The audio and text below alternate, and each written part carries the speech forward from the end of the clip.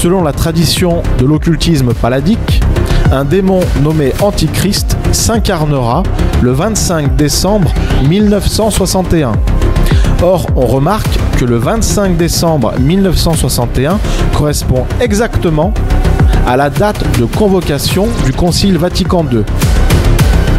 Nous pouvons donc en conclure que cet antichrist est la secte conciliaire.